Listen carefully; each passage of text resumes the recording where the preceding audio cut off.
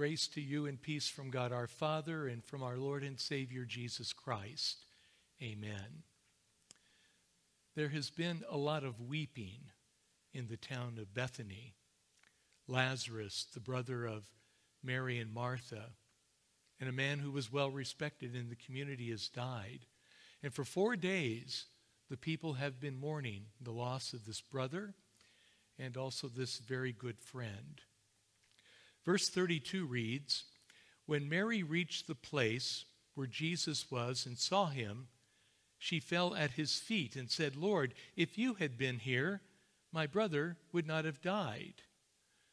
Jesus came after four days to Bethany, and the family was so happy to see him. But still, they were confident. They spoke in faith that if Jesus had been there, Lazarus would still be alive today. So troubled was Jesus when he reached the place where Lazarus was buried.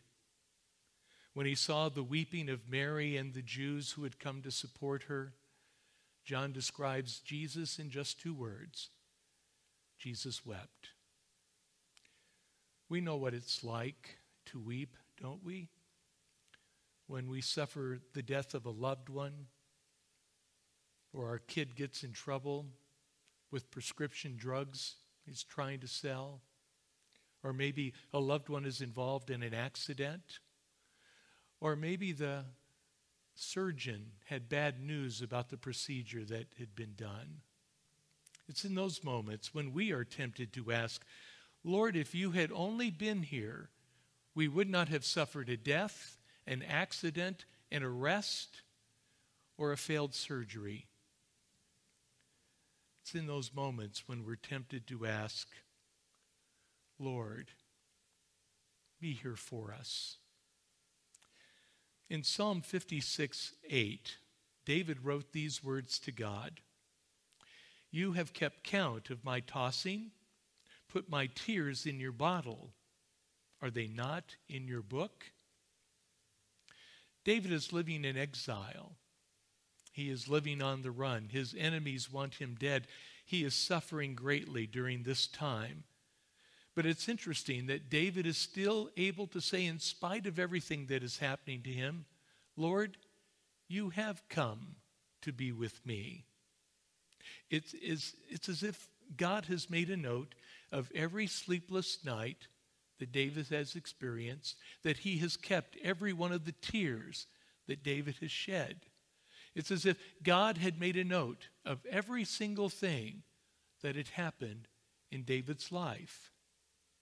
And David can see that God has been there for him. And David is comforted by the fact that he can see the extent of God's great love for him and really for all of his children. Jesus has come to Bethany to be with Martha and Mary, and he was grieved by their sadness. And we too can believe and know that Jesus is grieved when we are in pain. We take comfort in those times when we need him the most that Jesus comes to us. Do you have a person to go to when life is falling apart? Someone who will just sit and listen as you pour your heart out to them? Maybe it's a spouse or a teacher, maybe a coach or a best friend, or maybe someone that you consider to be very wise. For me, it was my pastor, David Schultz. And during my high school year, I, I struggled with a lot of things. And I was very concerned about my dad. He didn't go to church very much. My mother was the spiritual leader in our family. She was the one who got my sister and I to Sunday school. She wanted to be sure that we continued to believe and know Jesus Christ as our friend and our Savior. But when my dad passed away, I had a question did he go to heaven? I brought that concern to Pastor Schultz, and we talked for a long time.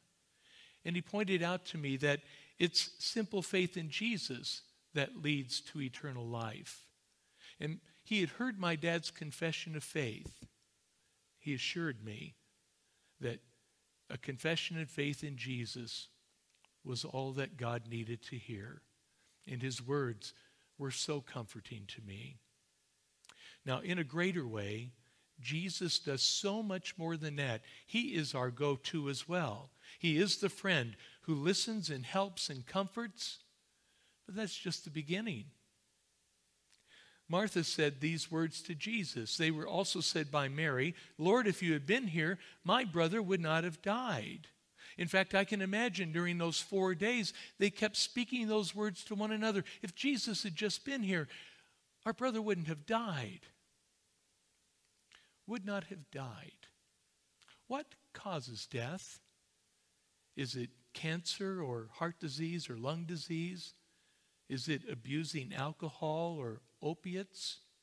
All of those things can lead to death, but really the answer to the question is encapsulated in one word, and that's sin. God's perfect creation was broken by sin. When Adam and Eve ate the fruit, our world has suffered from that sin and has been in turmoil ever since. I wonder if when Adam left that beautiful garden, if he didn't say something to himself like, Man, am I dumb? We had fellowship with God. We had a beautiful garden to live in. We had the management of it. I should have stopped Eve from pulling that fruit off the tree. And now look, I sweat, I toil every single day just trying to get anything to grow from the ground. And not only that, my family is a mess. Cain killed Abel. You want to talk about crying? I never thought that I would lose a son. It's all because of sin.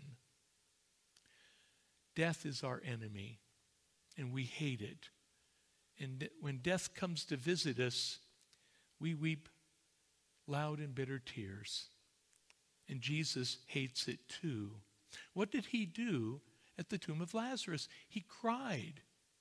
And his words give us the greatest comfort because they remind us that death does not win. Jesus said to Martha, I am the resurrection and the life.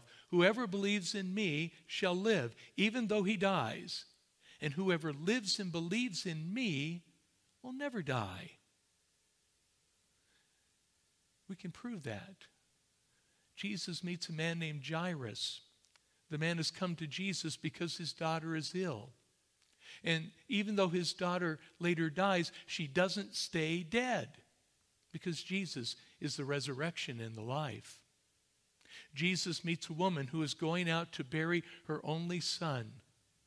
She too is weeping bitter tears. But when Jesus speaks, her son doesn't stay dead because Jesus is the resurrection and the life. And then there is Lazarus, been in the grave for four days. Bad odor going to come out of that tomb. Doesn't matter. Jesus speaks, and Lazarus doesn't stay dead because Jesus is the resurrection and the life. And the same is true for us, whether it be at the baptismal font or, or here at the pulpit where God's word is proclaimed, or, or whenever a person kneels at the altar to receive Lord's Supper. Jesus is there, He comes to us. And then Jesus goes on to say to Martha, uh, He who believes in me will live even though he dies, and whoever lives and believes in me will never die. Now, those words sound confusing. Sometimes people read them and, and they're a little bit confused. What is it that Jesus is trying to say? I remember, uh, or I ask if you remember the old uh, FedEx commercials. What was the tagline to all those commercials? When it absolutely positively has to be there overnight. Well, the truth is that all Christians die or will die unless Jesus comes first. But when Jesus says, shall never die, it's as if he is literally saying, absolutely, positively, you will not die forever.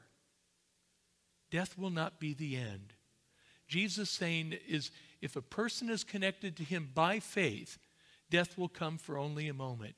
Death, as Jesus says, is just asleep. And then in a moment, you and all who believe with Jesus will be in paradise. This is the fifth Sunday of Lent, and throughout the Lenten season, we've focused on the suffering and death and resurrection of Jesus Christ. His suffering and death and resurrection is for you. Jesus rises from the dead, and he lives so that we might be buried with him in our baptism and then be raised to life as well. And that's forever. And don't forget, Jesus has given new life to you right now. We need never doubt his presence in our life. You were raised in baptism. And you heard his word that gave you life every time you confessed your sins, and he spoke his word of absolution to you. And Jesus meets you here at the rail as well, so that he might give you his body and blood for the forgiveness of sins. What sweet words to come from our Savior. Now we don't have to doubt any longer about Jesus' presence in our lives. We never have to say to ourselves, Lord, if you'd only been here. We worry no more about Jesus' forgiveness and love. A pastor once said, Jesus' death is the death of your death, and Jesus' life is the resurrection of your life. Jesus. We have life in Jesus, peace in Jesus, salvation in Jesus. We have everything in Jesus. And what happened to Lazarus is going to happen to Jesus as well. He will be crucified and die and will be buried in a tomb. And not on the fourth day, but the third day, Jesus will rise again to live. His victory is our victory. Our sin has been paid for. Death has been defeated. And we are free now to live the new life in Jesus Christ because Jesus is the resurrection and the life. Amen.